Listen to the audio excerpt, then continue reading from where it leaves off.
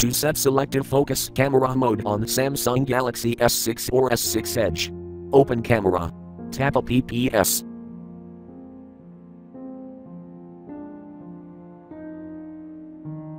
Tap camera.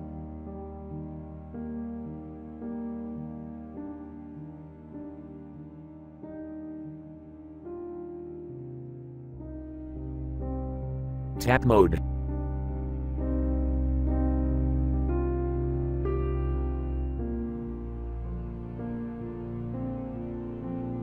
Tap selective focus.